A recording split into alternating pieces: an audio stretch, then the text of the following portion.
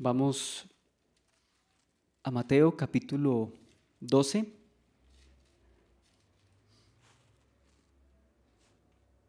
Mateo capítulo 12. Y estamos pues en este capítulo bajo el tema Jesús confronta a los religiosos, específicamente pues a los, a los fariseos, ¿no? A los fariseos.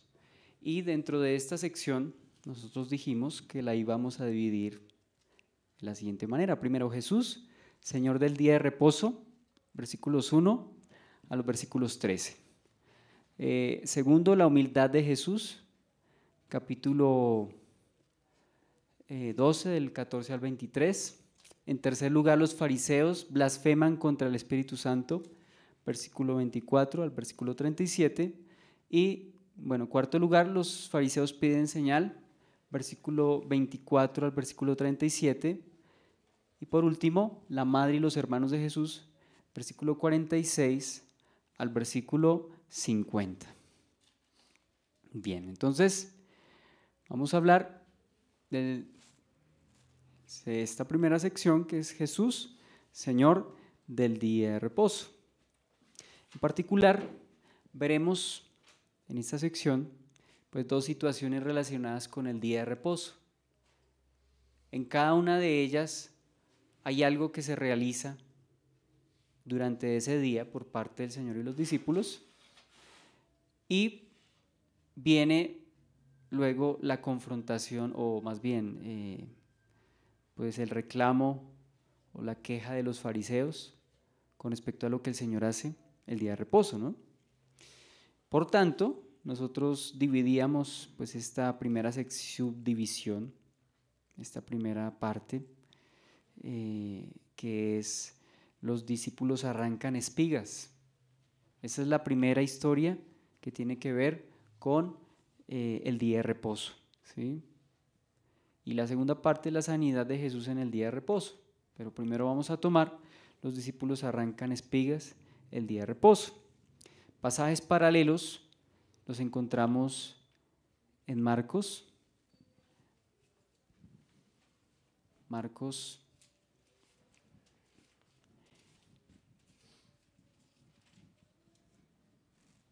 capítulo 2, versículos 1, perdón, Marcos capítulo 2, versículos 23, versículo 28. Y Lucas capítulo 6, versículos 1 al 5. Bueno, eh, vamos a leer estos rápidamente. Marcos capítulo 2, versículo 23 al 28, aconteció que al pasar él por los sembrados un día de reposo, sus discípulos andando comenzaron a arrancar espigas. Entonces los fariseos le dijeron, mira, ¿por qué hacen en el día de reposo lo que no es lícito? Pero él les dijo, ¿nunca leísteis lo que hizo David cuando tuvo necesidad y sintió hambre él y los que con él estaban?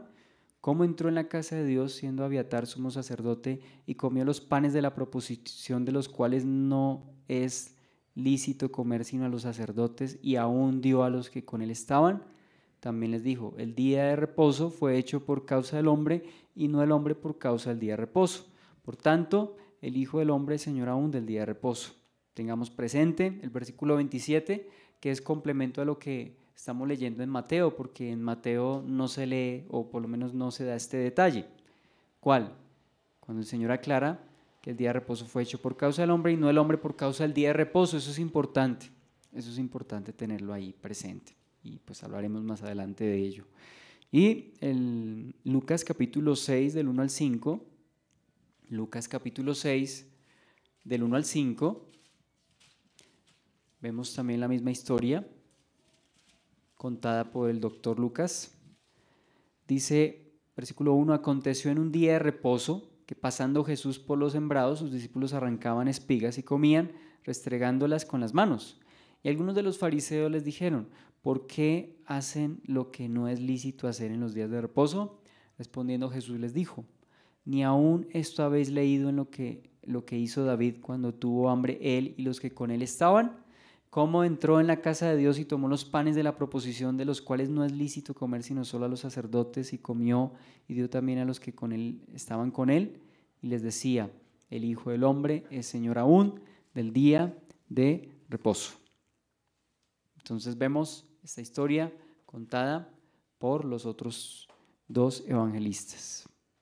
Vamos a hablar o vamos a retomar lo que habíamos dicho con respecto al día de reposo. El día de reposo y la ley. ¿Qué relación hay con el día de reposo y la ley? Bueno, pues hablar del día de reposo es referirnos directamente a la ley, comenzando porque el día de reposo es el cuarto mandamiento. Entonces, eh, aunque hace referencia al séptimo día en la creación, primero vamos a hablar de lo que se dice respecto al día de reposo en Génesis. ¿Se habla exclusivamente del día de reposo en Génesis? Bueno, se hace una referencia a él en particular en la creación. El día de reposo pues juega un papel importante y pues prácticamente eh, se menciona por primera vez en el libro de Génesis. No como el día, digamos, de reposo como tal, que está relacionado a la ley, pero sí es el fundamento de lo que está escrito en la ley con respecto al día de reposo. Vemos nosotros en Génesis capítulo 2, del 1 al 3. Génesis 2, del 1 al 3. Dice, fueron pues, fueron pues acabados los cielos y la tierra y todo el ejército de ellos. Y acabó Dios en el día séptimo la obra que hizo y reposó el día séptimo de toda la obra que hizo. Y bendijo Dios al día séptimo y lo santificó porque en él reposó toda la o en él reposó de toda la obra que había hecho en la creación. Entonces, prácticamente en el segundo capítulo de la Biblia estamos viendo el fundamento del día de reposo. Dios dice, acabó, eh, acabó en el séptimo día la obra que hizo y reposó el día séptimo de toda la obra que hizo. Además, ¿qué pasó con ese día? Lo bendijo y lo santificó, es decir, lo puso de manera especial aparte, un día especial, porque en él reposó. Ahora, entendamos que aquí se está hablando en términos de antropomorfismo, es decir, que Dios repose. En realidad, ¿por qué alguien reposa? porque está cansado, pero ¿eso aplica a Dios? No. Salmo, eh, perdón, Isaías 40, no desfallece ni se fatiga con cansancio. Es claro para nosotros que el Todopoderoso no se cansa. Entonces, ¿por qué dice que reposa? Bueno, esta es una señal más aplicada para nosotros. Y ya lo, ya lo iremos entendiendo a medida que avancemos o, repasemos, porque algunas de estas cosas ya las habíamos visto, ¿no? Entonces, aunque se haya hecho referencia al día de reposo antes del hecho, es decir, antes de la promulgación de la ley como tal en el Sinaí, pues ya se había hecho referencia respecto a él, como lo encontramos aquí. De Génesis hasta prácticamente Moisés, el día de reposo no es visto como un mandamiento riguroso a guardar o no es dado como mandamiento. ¿A quién es dado como mandamiento? Prácticamente a Israel. A Israel es dado de manera exclusiva. Vamos a tratar de abordar este tema que ha sido pues controversial. Algunos consideran que sí se debe guardar de manera estricta. Uno de los argumentos es que dice que perpetuamente lo tienen que guardar por sus generaciones. Pues comenzamos diciendo que el pacto se estableció fue con Israel. Lo mismo la circuncisión, con Abraham, con los hebreos. Con ellos se hizo ese pacto. ¿Qué relación tiene la circuncisión con nosotros los gentiles? Bueno, hay una relación espiritual con respecto a la circuncisión. Se habla de una circuncisión no hecha con mano en la carne, sino la del corazón. Y en ese sentido aplica a nosotros. Bien, porque si empezáramos a decir que nos circuncidáramos, entonces estaríamos judaizando, frente a lo cual Pablo advirtió a los Gálatas y también en el libro de los Hechos se advierte al respecto o pues se habla que se tiene mucho cuidado, ha de tenerse mucho cuidado al respecto de esto, ¿no? De caer en el legalismo. Bien, entonces eh, es promulgado como ley y veamos Éxodo 16 del 23 al 30. Estamos recordando Éxodo 16 del 23 al 30. Dice allí, y él les dijo, esto es lo que ha dicho Jehová, mañana es el santo día de reposo. 16, 23. El reposo consagrado a Jehová, lo que habéis de coser, cocedlo hoy, y lo que habéis de cocinar, cocinadlo, y todo lo que os sobrare, guardadlo para mañana. Y ellos lo guardaron hasta la mañana, según lo que Moisés les había mandado, y no se aguzanó ni dio. Dijo Moisés, comedlo hoy porque hoy es el día de reposo para Jehová. Hoy no hallaréis en el campo. Seis días lo recogeréis, mas el séptimo día es día de reposo, en él no se hallará. Y aconteció que algunos del pueblo salieron en el séptimo día a recoger y no hallaron. Y Jehová dijo a Moisés, ¿hasta cuándo no querréis guardar mis mandamientos y mis leyes? Mira que oh, Jehová os dio el día de reposo y por eso en el sexto día os da un pan para dos días. Estése pues cada uno en su lugar y nadie salga de él en el séptimo día. Hacia el pueblo reposó el séptimo día. Bien, entonces allí se va pues hablando claramente del día de reposo, pero prácticamente es en el capítulo 20 donde aparece. Éxodo 20 del 8 al 11 dice, acuérdate del día de reposo para santificarlo. Seis días trabajarás y harás toda tu obra. Mas el séptimo día es reposo para Jehová tu Dios. No hagas en él cosa alguna, tú, ni tu hijo, ni tu hija, ni tu siervo, ni tu criada, ni tu bestia, ni tu extranjero, que esté dentro de tus puertas. Porque en seis días hizo Jehová los cielos y la tierra, el mar y todas las cosas que en ellos hay, y reposó en el séptimo día. Por tanto Jehová bendijo el día de reposo y lo santificó. Entonces a partir de este momento aparece y aparece la ley moral. Entonces alguien diría, se da cuenta que es ley moral, por tanto hay que continuar guardándola.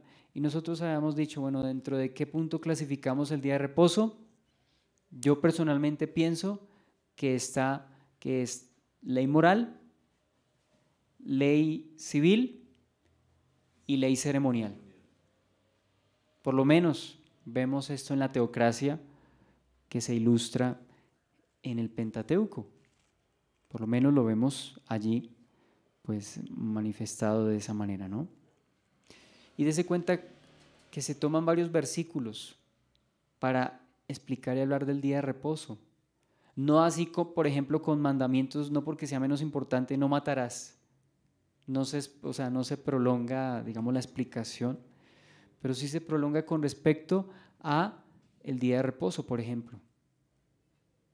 También se hace una extensión de la explicación en no te harás ningún ídolo, no te harás, dice, imagen. Allí también se extiende un poco más para hablar con respecto a ello. ¿no?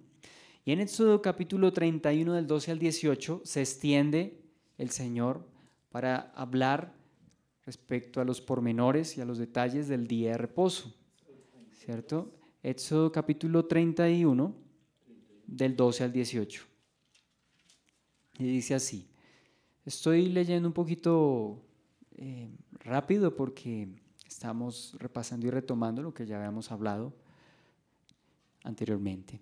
Habla además Jehová a Moisés diciendo, tú hablarás a los hijos de Israel diciendo, en verdad, vosotros guardaréis mis días de reposo, porque es señal entre mí y vosotros por vuestras generaciones, hasta que sepáis, para que sepáis que yo soy Jehová que os santifico. Así que guardaréis el día de reposo, porque santo es a vosotros. El que lo profanare de cierto morirá. Porque cualquiera que hiciere obra alguna en, aquel, él, en él, aquella persona será cortada de en medio de su pueblo. Seis días se trabajará, mas el séptimo día es día de reposo, consagrado a Jehová. Cualquiera que trabaje en el día de reposo, ciertamente morirá. Guardarán pues el día de reposo los hijos de Israel, celebrando por, celebrándolo por sus generaciones, por pacto perpetuo. Señales para siempre entre mí y los hijos de Israel, porque en seis días hizo Jehová los cielos y la tierra, y en el séptimo día cesó y reposó.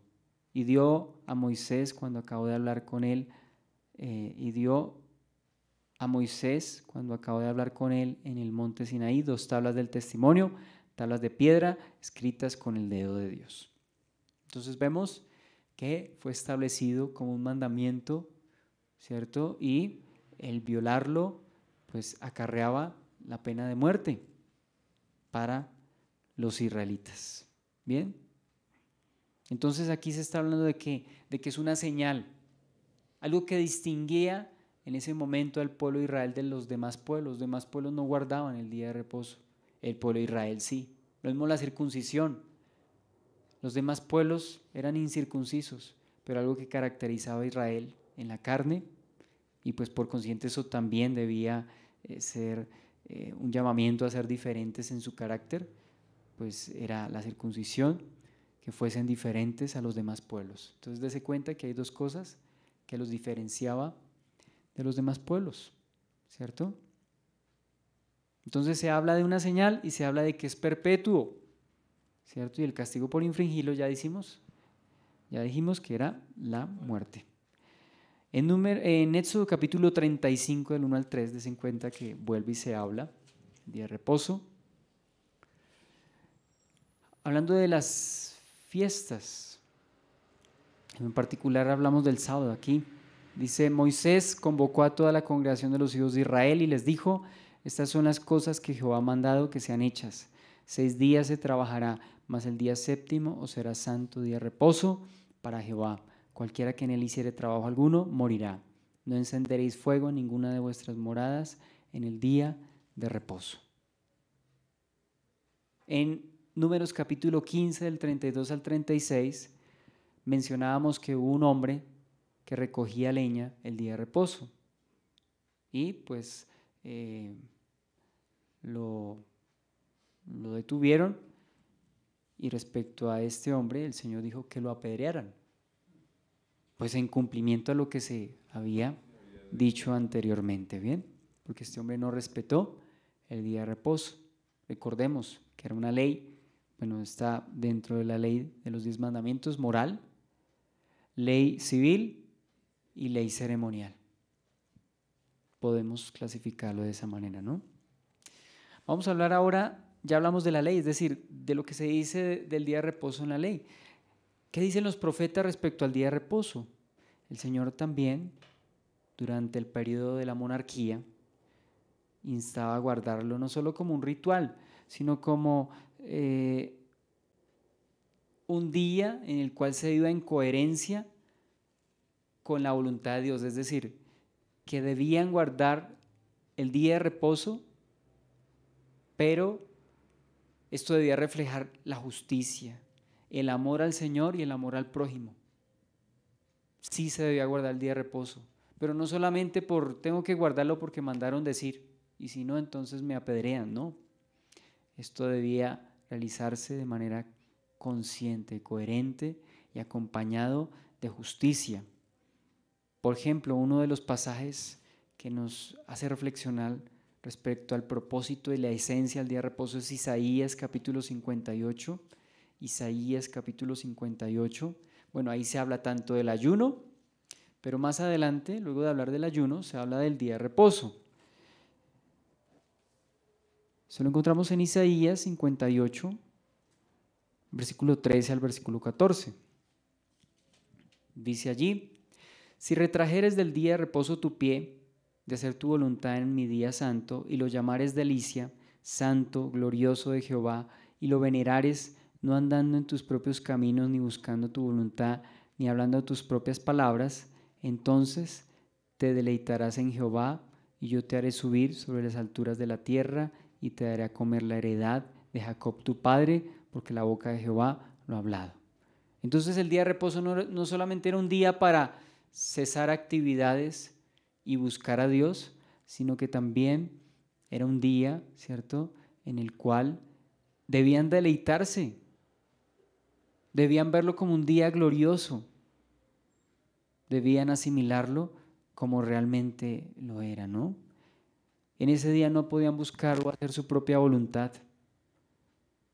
no podían hablar sus propias palabras. Era un día para vivir, o no solamente el sábado para vivir en justicia, pero el, día de reposo pues debía también reflejar el deleite que hay en el creyente, bueno, en, en, aquel entonces los hijos de Israel, con respecto a la voluntad de Dios para con ellos, es decir, el día de reposo. Bien. Entonces el mero formalismo religioso en sí mismo es abominación al Señor. Es decir, solo guardarlo, pero porque toca. Y no ir acompañado, como ya lo vimos, una vida de justicia, de integridad. Eso el Señor lo desecha. ¿Sí? De hecho, los proverbios, hay proverbios que hablan respecto a ello. Dice, el hacer justicia y juicio a Jehová es más agradable que el sacrificio.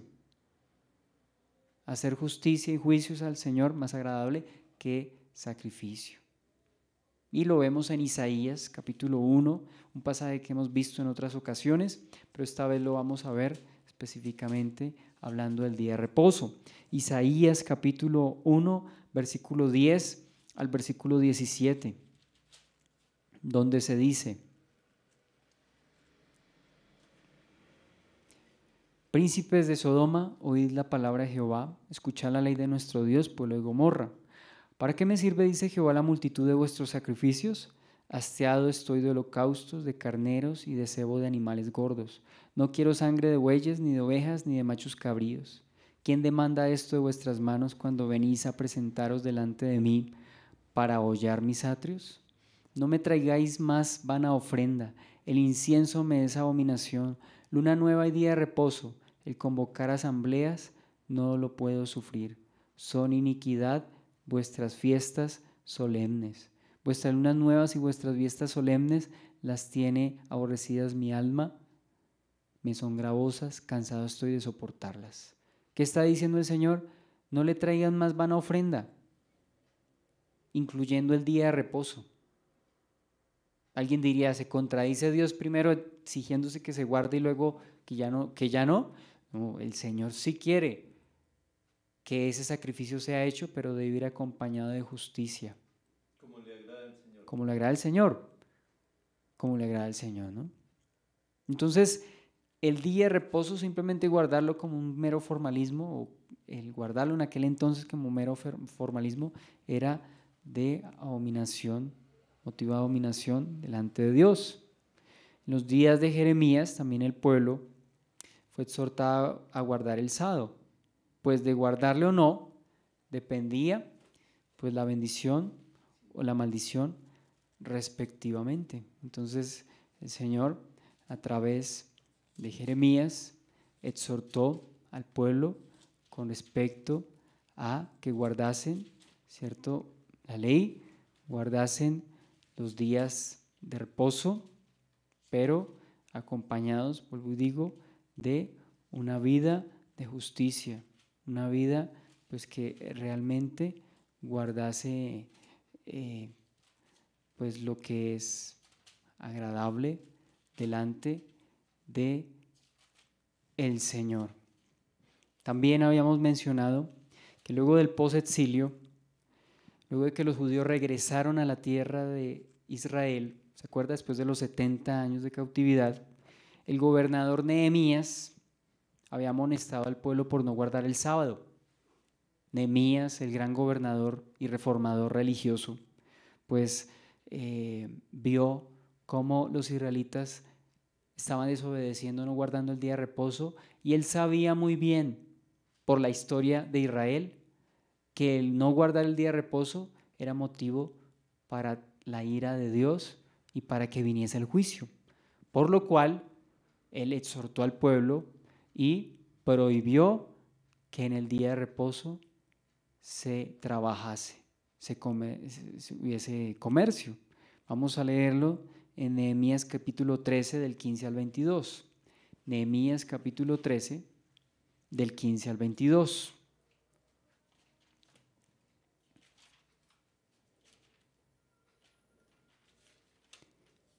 Dice allí, En aquellos días vio en Judá algunos que pisaban en lagares en el día de reposo, y que acarreaban haces y cargaban asnos con vino y también de uvas, de higos y toda suerte de carga y que traían a Jerusalén en el día de reposo. Y los amonesté acerca del día en que vendían las provisiones. También había en la ciudad tirios que traían pescado y toda mercadería y vendían en el día de reposo a los hijos de Judá en Jerusalén. Y reprendí a los señores de Judá y les dije, ¿qué mala cosa es esta que vosotros hacéis profanando así el día de reposo? ¿No hicieron así vuestros padres y trajo nuestro Dios todo este mal sobre nosotros y sobre esta ciudad? ¿Y vosotros añadís ira sobre Israel profanando el día de reposo? Sucedió pues que cuando iba oscureciendo a las puertas de Jerusalén antes del día de reposo, dije que se cerrasen las puertas y ordené que no las abriesen hasta después del día de reposo. Y puse las puertas en las perdón, y puse a las puertas algunos de mis criados para que en el día de reposo no introdujesen carga. Y se quedaron fuera de Jerusalén una y dos veces los negociantes y los que vendían toda especie de mercancía. Y les amonesté y les dije, ¿por qué os quedáis vosotros delante del muro? Si lo hacéis otra vez, os echaré mano. Desde entonces no vinieron en el día de reposo. Y dije a los levitas que se purificasen y viniesen a guardar las puertas para santificar el día de reposo. También por esto acuérdate de mí, Dios mío, y perdóname según la grandeza de tu misericordia. Entonces vemos que uno de los pecados por los cuales Dios trajo juicio a Israel fue precisamente por no guardar el día de reposo, profanarlo. ¿Qué es profanarlo? Hacerlo igual que los demás. Profano es de hacer algo, ¿cierto?, tan común como los demás. En este caso, un día normal como los otros, cuando el Señor dijo que ese día era un día santo, consagrado al Señor, un día glorioso. Y ellos pues habían desobedecido al Señor. Entonces es lo que podemos nosotros ver respecto al día de reposo en tiempos de los profetas. Ahora hablemos de el día de reposo en los días del Señor Jesús. Con el tiempo, los judíos fueron añadiendo cosas, tradiciones y requisitos a la ley. Y pues eso también ocurrió con el día de reposo. Es decir, el día de reposo no fue la excepción cuando se trató de añadirle cosas, añadirle tradiciones, añadirle mandamientos.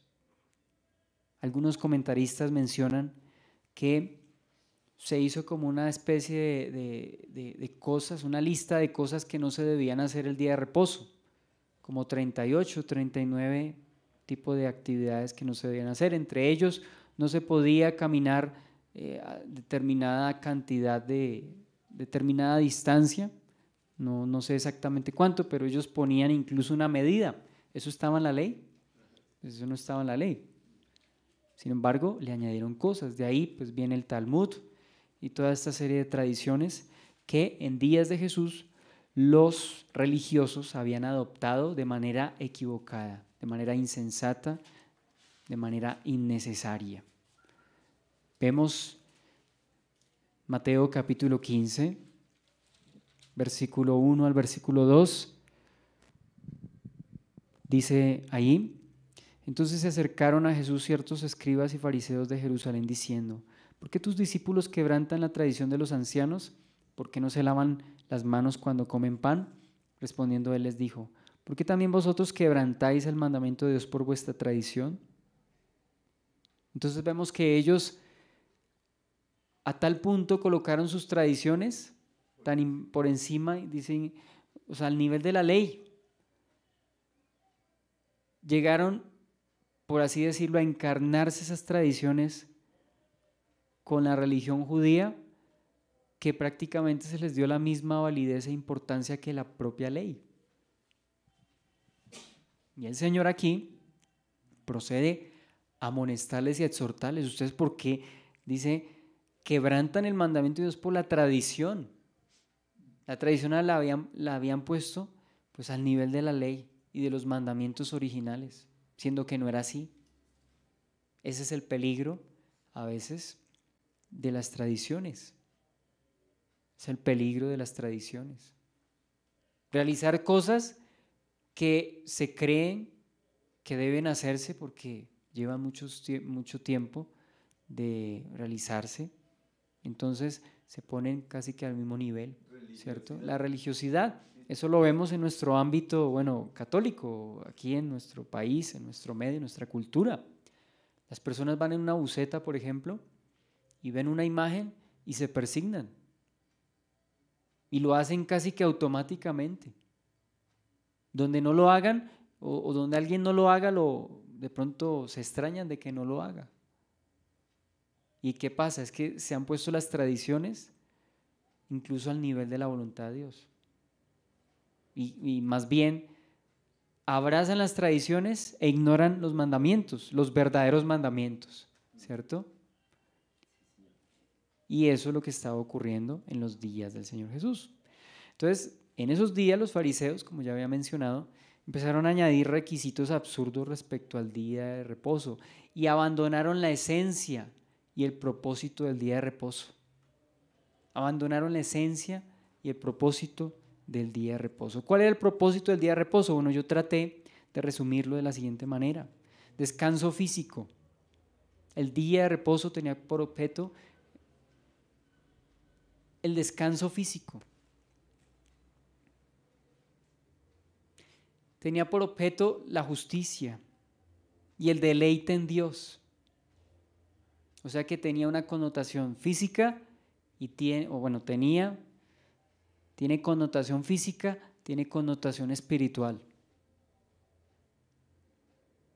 Tiene connotación física y connotación espiritual. Indudablemente tiene el propósito de darle descanso al hombre. Tiene el propósito de que se recuerde el vivir en justicia, se haga justicia, ya lo vimos en Isaías 58, y tiene el propósito de deleitar o, traer deleite en Dios. Y también como obediencia, ¿no? Para santificarse la persona. Eso estaría dentro de la categoría de justicia. La justicia es hacer lo recto, es decir, ajustarse a los mandamientos. La obediencia, sí, Señor, podemos también describirlo de esa manera. Perdón, una pregunta. Se dijo, abrazan las tradiciones y Y desechan los mandamientos de Dios. Entonces, el día que debía ser de descanso, que debía ser glorioso, ¿qué terminó siendo para los judíos? Una carga. Una carga. Y esto nos une con el contexto anterior. ¿Qué fue lo último que se habló en el capítulo anterior? Que el Señor, el yugo del Señor es fácil y ligera su carga, ¿se acuerda? Vengan a mí los que están trabados y cargados. ¿Y qué hacía la religión?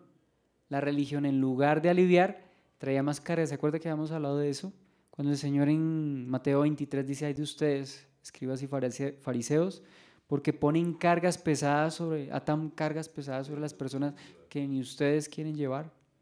También habíamos visto en Hechos 15 que los judíos que habían creído pero que querían también seguir la tradición de la circuncisión y, los ritos de la ley, querían imponerle eso a los gentiles, siendo que ni ellos mismos habían podido con toda esa carga de mandamientos. Entonces dése cuenta que la religión traía era opresión y el día de reposo que tenía por objeto traer descanso al hombre físicamente y espiritualmente, terminó siendo una carga para las personas. Y no para beneficio. Lo volvieron fue una carga, ¿no? Eso lo vemos allí mismo en el versículo capítulo 12, versículo 7.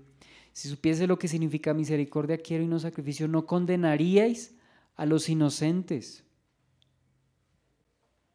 Y también vemos del 11 al 14, más adelante, lo que ya tomaremos más adelante, pero lo estamos viendo desde ya, dice, Él les dijo, ¿qué hombre habrá de vosotros que tenga una oveja y si ésta cayera en un hoyo en el día de reposo no le eche mano y la levante? Pues cuánto más vale un hombre que una oveja, por consiguiente es lícito hacer el bien en los días de reposo. Entonces dijo aquel hombre, extiende tu mano, y él la extendió y le fue restaurada sana como la otra y salidos los fariseos tuvieron consejo contra Jesús para destruirle. Entonces era un día para traer libertad, ¿cierto? Era un día para hacer el bien, pero ellos lo habían vuelto un día, ¿cierto? Lúgubre, una carga y la llenaron con, con requisitos absurdos completamente, ¿no? Podemos ver también esto en Marcos, como ya habíamos mencionado, capítulo 2, versículo 27, con respecto a este punto, es decir, ya lo habíamos citado, pero cito específicamente el versículo 27, el día de reposo fue hecho por causa del hombre y no el hombre por causa del día de reposo. Es decir, el día de reposo estaba en función del hombre, a favor del hombre, en beneficio del hombre. Y no lo contrario, es decir, que los hombres tenían que hacer incluso eh, comprometer su salud, comprometer su bienestar y el bienestar de otros con tal de guardar ese día. ¿Ese era el propósito? No, para nada. Capítulo 3, versículo 4, ahí mismo de Marcos, y les dijo, es lícito en los días de reposo hacer bien o hacer mal, salvar la vida o quitarla, pero ellos callaron. Es decir, ante esos argumentos, ellos no tenían nada que decir. Quedó al descubierto, pues la manera absurda como pretendían guardar el día de reposo. Entonces el Señor exhorta a los religiosos y los desafía y confrontan el día de reposo como tal. Y aquí contestaremos la siguiente pregunta. ¿El Señor violó realmente el día de reposo? Vamos a, a través de lo que vamos a hablar, vamos a contestar esa pregunta. Si uno estaba desafiando y confrontando el día de reposo, sino las tradiciones y las añadiduras al día de reposo. Las tradiciones y las añadiduras al día de reposo era lo que el Señor estaba confrontando y frente a lo cual Él estaba en contra. ¿Cierto? Le estaba vindicando en esencia el verdadero significado y el propósito de la ley. Para que nos quede un poco más claro, vamos a Juan capítulo 5 del 5 al 18. Juan capítulo 5 del 5 al 18.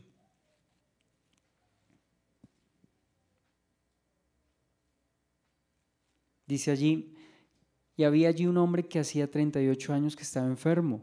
Cuando Jesús lo vio acostado y supo que llevaba ya mucho tiempo, así le dijo, ¿quieres ser sano? Versículo 7, Señor, le respondió el enfermo, no tengo quien me meta en el estanque cuando se agita el agua y entre tanto que yo voy, ¿qué? Quien me meta en el estanque cuando se agita el agua y entre tanto que yo voy, otro desciende antes que yo.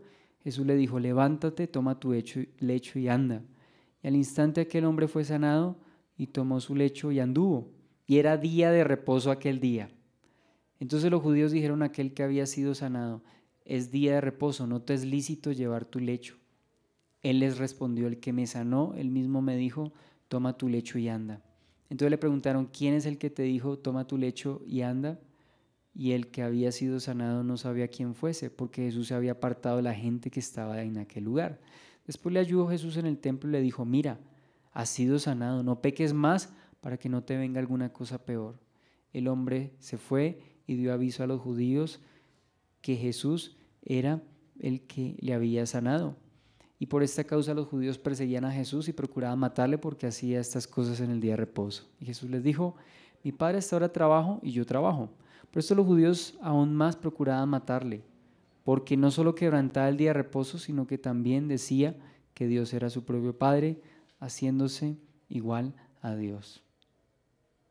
Entonces, dése cuenta que el Señor en el día de reposo se ocupó de hacer el bien. No estaba violando el día de reposo, lo violaba desde el punto de vista de los religiosos. Sí, lo quebrantaba desde el punto, según los religiosos. Que es lo que estamos mencionando, ¿no? Ya vimos en Marcos capítulo 3 del 1 al 6, es, es lícito en el día de reposo. ¿Qué hay que hacer en el día de reposo? Salvar la vida, ¿cierto? O ser indiferentes a ello. Pues ellos debían aprovechar ese día para hacer el bien. Prácticamente este es el día de reposar. Vamos a ver, ¿Y qué? Y le hicieron fue componerlas. sí, Y, y para hacer el bien, porque aquí veo que estos discípulos comían las espigas crudas, sí señor. porque no tenían ahí cómo No tenían cómo amasarlas ni cómo cocinar, en fin. Entonces Lucas capítulo 13 nos da otro ejemplo de sanidad en el día de reposo. ¿Era inapropiado hacer sanidades el día de reposo? Ya acabamos de responder esa pregunta. que en el día de reposo es lícito hacer el bien. ¿Se acuerda qué es lo que dice el Señor en Isaías? Si retrajeres tu pie en el día de reposo, ¿cierto? De hacer tu propia voluntad y hablar tus propias palabras, entonces sería día agradable, santo para el Señor. Entonces es lícito hacer bien en el día de reposo, hacer la voluntad del Señor el día de reposo. Lucas capítulo 13, del 10 al 17, vemos otra historia de una, de una mujer que es sanada en el día de reposo. Enseñaba a Jesús en una sinagoga en el día de reposo, como era costumbre. Y había allí una mujer que desde hacía 18 años tenía espíritu de enfermedad y andaba encorvada y en ninguna manera se podía enderezar. Cuando Jesús la vio, la llamó y le dijo, mujer, eres libre de tu enfermedad. Y puso las manos sobre ella y ella se enderezó y luego eh, se enderezó luego y glorificaba a Dios. Pero el principal de la sinagoga, enojado de que Jesús hubiese sanado en el día de reposo, dijo a la gente, seis días hay en que se debe trabajar. En estos, pues, venid y sed sanados, y no en el día de reposo. Entonces el Señor respondió y le dijo, hipócrita, cada uno de vosotros no desata en el día de reposo su buey o su asno del pesebre y lo lleva a beber. Y a esta hija de Abraham que Satanás había atado 18 años, no se le debía desatar de esta ligadura en el día de reposo. Al decir estas cosas se avergonzaban todos sus adversarios, pero todo el pueblo se regocijaba por todas las cosas gloriosas hechas por él. Y, añadimos ahí, hechas por él en el día de reposo. Entonces esto es significativo, ¿no? Si ellos en el día de reposo le hacían bien a su bestia, pues cuánto más era necesario hacer el bien con un ser humano, con un descendiente de Abraham. Entonces el Señor los confronta. Por consiguiente, considero yo a partir de lo que hemos visto que el Señor no violó el día de reposo, ¿cierto? Y más bien hizo lo que era correcto en este, ¿no? Dando a conocer que Él es Señor aún del día de reposo, de lo cual hablaremos más adelante. Señor. No le debemos añadir rituales y, y cosas absurdas al día de reposo como lo hacían los religiosos. Ahora hablemos del día de reposo en la iglesia. Ya hablamos del día de reposo en la ley, el día de reposo en la época de los profetas, el día de reposo en tiempos de Jesús y ahora, como usted menciona, en este tiempo, en el tiempo de la iglesia. Bueno, comencemos hablando de que el día de reposo, en el tiempo específicamente de los viajes de Pablo, Pablo aprovechaba para predicar el Evangelio en los días de reposo e iba en primer lugar a las sinagogas. Algo interesante, a Pablo se le dice el apóstol de los gentiles, pero no por eso era que dejaba a los judíos, todo lo contrario. Iba al judío primeramente a predicarle y lo hacía los sábados en el día de reposo. O sea que Pablo estaba aprovechando esos días para hacer lo que es correcto, lo que es justo y agradable al Señor, predicando el Evangelio en las sinagogas. Era malo ir a las sinagogas. Pablo aprovechaba esa oportunidad para ir a las sinagogas a enseñar el Evangelio. Si habláramos de pasajes, bueno, hay varios pasajes en el libro de los Hechos. Por ahora, solo citaré el pasaje que se encuentra en Hechos, capítulo 13, versículo 5. Llegados a Salamina, que fue prácticamente el inicio de sus viajes misioneros, anunciaba la palabra de Dios en las sinagogas de los judíos. Capítulo 13, versículo 14. Ellos pasando de Pergue llegaron a Antioquía de Pisidia y entraron en la sinagoga un día de reposo y se sentaron.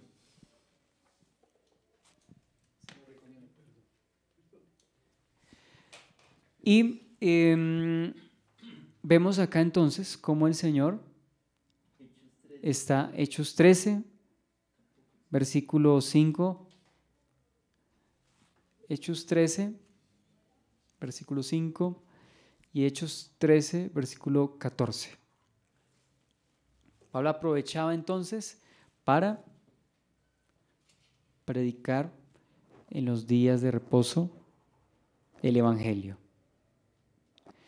Y en el tiempo de la iglesia ya no se menciona con tanta frecuencia, ya no se menciona con tanta frecuencia el día de reposo, digamos como día relevante a guardar durante el tiempo de la iglesia. Entonces recordemos que la, la, la señal y la ordenanza del sábado como día de reposo, así como la circuncisión, se dieron directamente a Israel. Alguien dijo, no es que eso es perpetuamente, sí, pero ¿con quién hizo ese pacto? Con Israel. Recordemos que el apóstol Pablo hace una, una analogía de la ley como si fuera un esposo, un esposo al cual debía serse, eh, debías, pues el, el, judío serle fiel. En este caso, la ley pues era eh, el esposo, pero la, la ley también dice que si el marido muere, la mujer queda libre de esa unión con su esposo. Entonces, mientras estábamos o mientras las personas estaban vivas a la ley, ¿cierto? Pues tenían que guardarla perpetuamente. Pero ¿hasta cuándo? Ya cuando mueren a la ley, pertenecen a otro, a Cristo. ¿Con eso muere la esencia del día de reposo? No, no porque recordemos que es un mandamiento que está dentro de la ley moral. Es el cuarto mandamiento. Pero recordemos que el día de reposo, más allá de un día puntual, es un principio que debemos guardar, primeramente a nivel espiritual y por consiguiente implica eh, la parte física. Claro que sí, implica la parte física, pero ya a partir de la iglesia, a partir o cuando la iglesia como tal se reunía, la escritura nos da indicios de que ya no era el sábado, de que era el primer día de la semana, el primer día de la semana. Para eso, perdón, mientras eh, vamos a Hechos, vamos a Hechos capítulo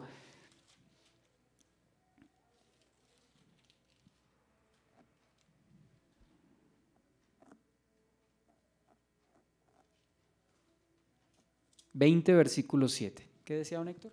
Dice, el primer día de la semana reunidos los discípulos para partir el pan, Pablo les enseñaba, habiendo de salir el- al día siguiente, y alargó el discurso hasta la medianoche. Hasta la medianoche, bien. Mientras tanto, vámonos alistando para ir a 1 Corintios capítulo 16. ¿Qué decía don Héctor, perdón? ¿Ahorita?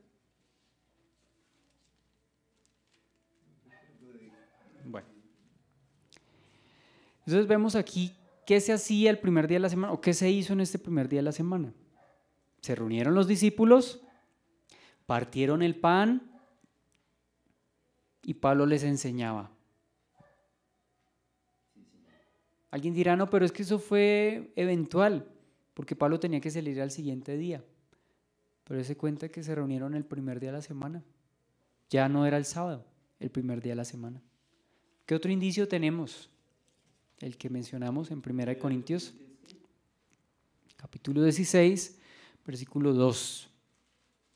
Dice allí, cada primer día de la semana, cada primer día de la semana, cada uno de vosotros ponga aparte algo según haya prosperado, guardándolo para que cuando yo llegue no se recojan entonces ofrendas.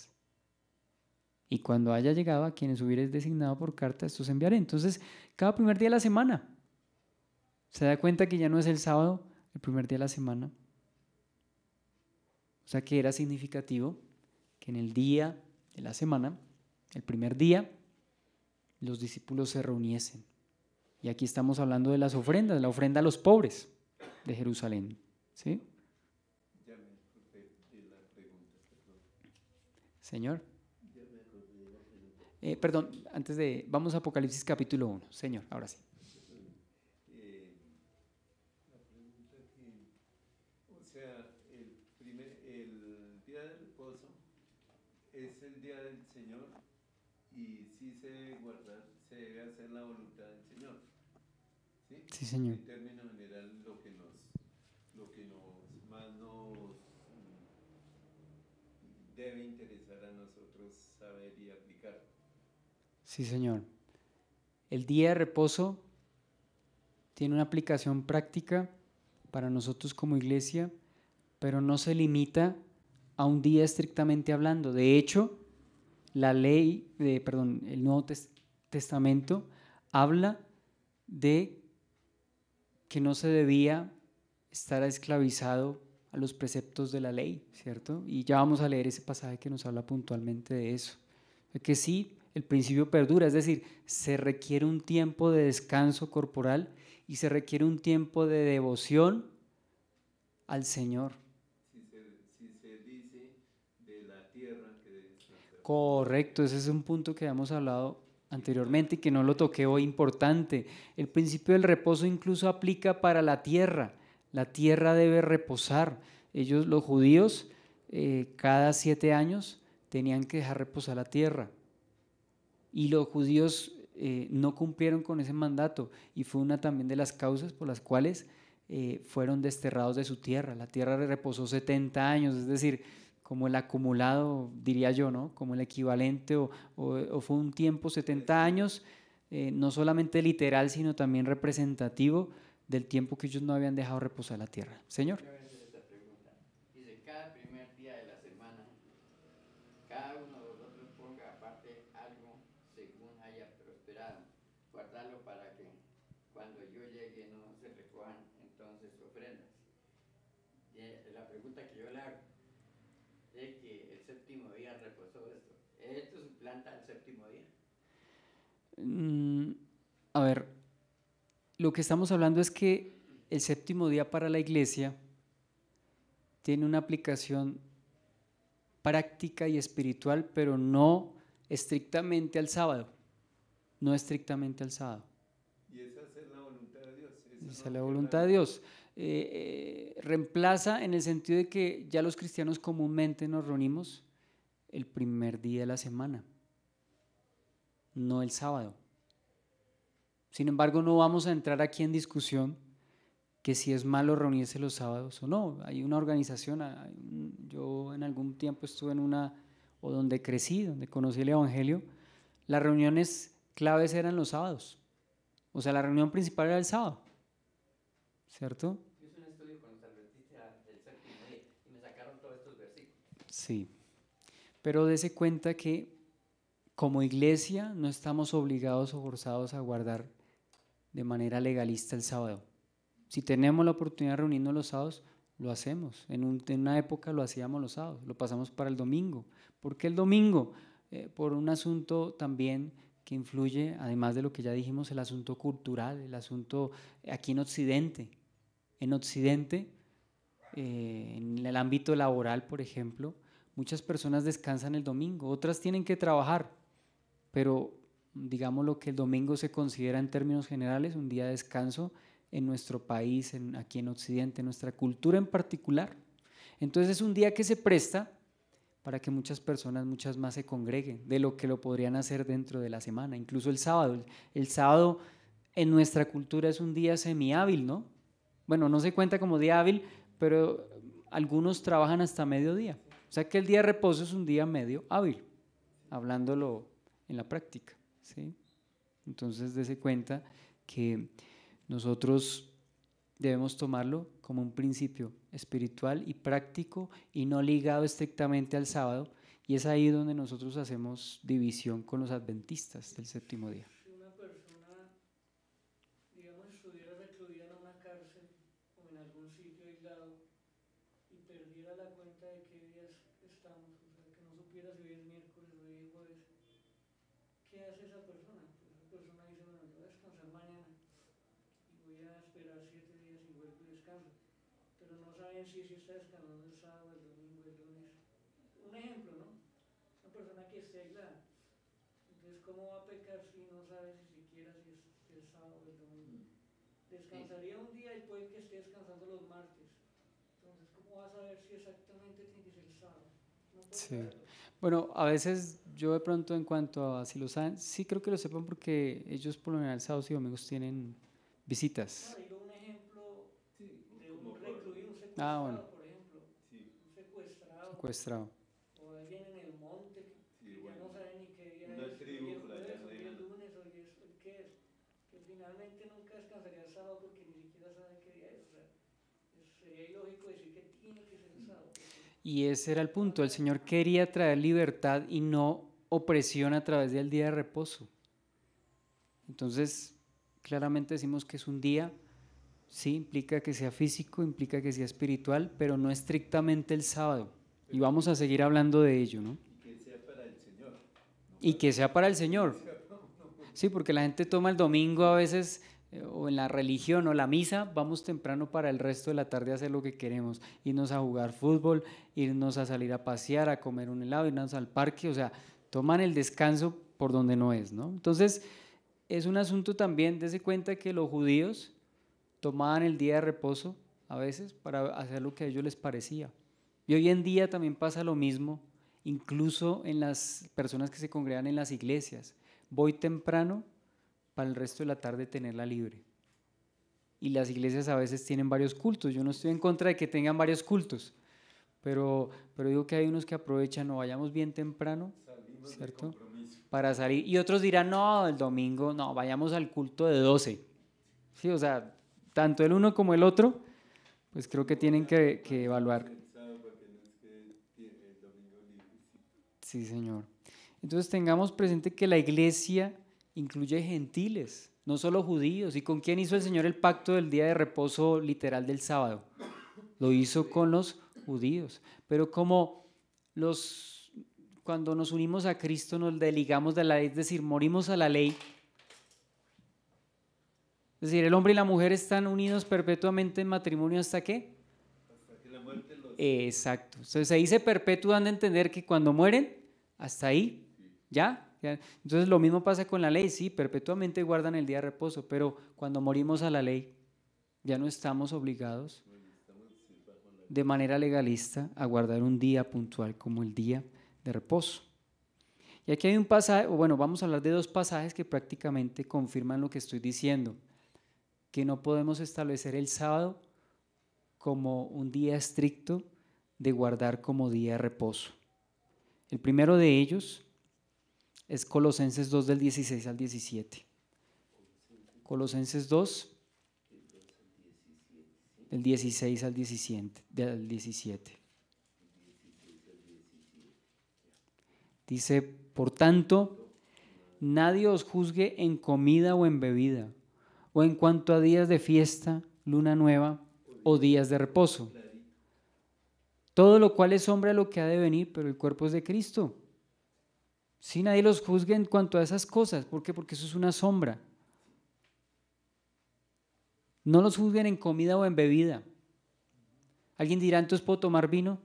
Hoy precisamente iba, venía en la flota y, se subió una persona pues chilena, o por lo menos hablaba como chileno. Estaba ofreciendo cosas y él decía, así como en la conferencia nos dijo el director de CLC de Chile, que allá el país el aperitivo es el vino. O sea, eso es como nosotros decir acá que el jugo o algo así, allá es el vino. ¿Cierto? En Chile y en países, no sé, como Alemania, eh, el vino, ¿cierto? Se, se sirve, es normal, ¿cierto? Pero aunque sea lícito, hay cosas que no convienen. Entonces, ¿qué es mejor? Evitar el vino. Sin embargo, Dice, nadie os juzgue en comida o en bebida. Si como con, comí morcilla, la morcilla tiene sangre. Nadie los juzgue en comida o en bebida. O en cuanto a días de fiesta, luna nueva o días de reposo. Todo eso es sombra. ¿Se da cuenta? Eso no es algo que debamos guardar de manera estricta porque ya lo hemos mencionado. Pero el cuerpo es de Cristo. Gálatas también es, un, es una carta eh, donde el apóstol Pablo trata con el asunto del legalismo, de cómo algunos que conocieron de Cristo terminaron otra vez eh, volviendo a preceptos religiosos. Gálatas capítulo 4 del 8 al 11. Ciertamente en otro tiempo no conociendo a Dios, servíais a los que por naturaleza no son dioses. Mas ahora conociendo a Dios, o más bien siendo conocidos por Dios, ¿cómo es que os volvéis de nuevo a los débiles y pobres rudimentos a los cuales os queréis volver a esclavizar? Guardáis los días, los meses, los tiempos y los años. Me temo de vosotros que haya trabajado en vano con vosotros. Dice el versículo, guardáis los días, los meses, los tiempos y los años. Es decir, ¿por qué volver a los pobres rudimentos? Guardar días puntuales, pues no tiene sentido, porque todas esas son cosas, es sombra. Ahora yo con esto no quiero anular, por ejemplo, el día de los tabernáculos, el día, eh, no estoy diciendo que no consideremos el significado y las épocas en que se celebran. Podemos, digamos, cuando hace poquito que fueron los tabernáculos, creo, nos llegó el mensaje de la congregación, nos dijo, mire, este es un tiempo en el que debemos considerar y orar. Los judíos celebran eh, la Sukkot, de los tabernáculos.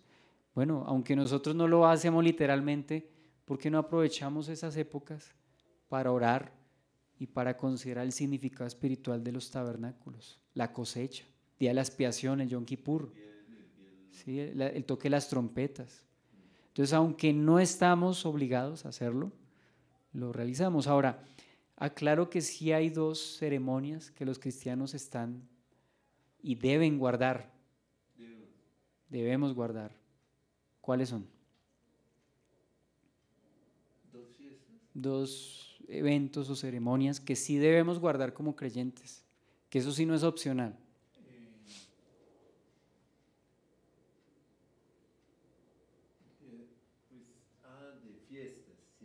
A ver, ¿cuál es la primera? Ceremonias. Y esto no tiene que ver con los sacramentos católicos. La primera, yo al decir la primera ya saben cuál es la segunda. Yo no he escuchado la primera. La primera es el bautismo, una ceremonia que todos los cristianos deben realizar.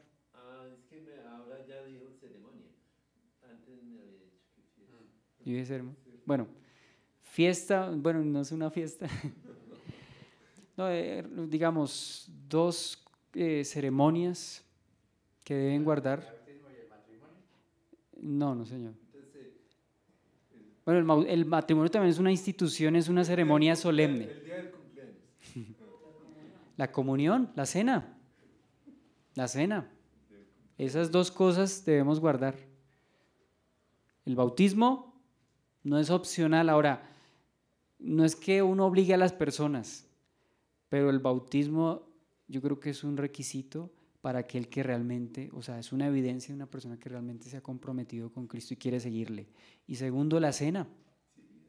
Eso sí lo debemos guardar, o sea, eso sí, digamos, debemos guardarlo como ceremonia, como institución, como eh, de lo cual participamos en la iglesia. Pero de ahí para allá, guardar el día de reposo como un día estrictamente siendo el sábado, el sabbat, pues no estamos obligados en ese sentido. Vuelvo y digo, tiene un principio físico, espiritual, pero no se limita a un día literal como es el sábado, Señor. Y hay un pastor que dijo que hay, cre- si se puede llamar que creyentes, que no van sino tres veces a la iglesia, cuando se bautizan, cuando se casan y cuando mueren. sí, aquellos que solo van cuando se bautizan, se casan y se mueren. Bueno, entonces vamos a seguir hablando de ello y ya pues teniendo como un marco un poco más claro respecto al día de reposo. Entonces vamos a continuar en ocho días hablando de esto, ¿no? Gracias te damos, Señor, por tu palabra, porque realmente tú nos invitas y nos llamas a tener tiempo de calidad contigo, Señor. Normalmente lo hacemos los domingos, es un día que se presta para que eh, al tener descanso muchos se congreguen. Señor, pero queremos que no solamente el primer día de la semana, sino también todos los días, Señor, sean santos para ti, Señor. Así como el domingo para nosotros eh, es el día del Señor, también haz que el domingo, Señor, sea un día en el que vivamos en justicia, aún recarguemos, por así decirlo, baterías espirituales para el resto de la semana, para vivir conforme a tu voluntad, Señor. Gracias Dios porque tú traes descanso, no traes opresión, sino que traes descanso, Señor. Haz que veamos el día del Señor como un día, una oportunidad para gozarnos en el Señor, para crecer en comunión con Él. Que la congregación para nosotros no sea una carga y el escuchar la palabra tampoco lo sea, sino que sea un gozo, motivo de regocijo, Señor. Gracias te damos, Señor, por aclarar el panorama por traer realmente satisfacción, gozo. Tu palabra dice que tus mandamientos no son gravosos. Por consiguiente, Señor, que valoremos esos tiempos que nos das físicamente. Que recordemos que el día de reposo fue hecho para el hombre y no viceversa, Señor. Que nos saques de toda tradición, no solamente relacionada con eh, sábados, días de reposo, sino también con las tradiciones y religiones que se nos, se nos han impuesto de manera externa de manera interna, Señor, que nos libres de toda esa opresión y nos lleves a vivir en la libertad del Espíritu, Señor. No la libertad para pecar y de pronto no sujetarnos, sino la libertad para servirte, sujetarnos a ti, Señor, y vivir en tu voluntad. Muchas gracias en el nombre de Jesús. Amén. Bueno, bendiciones.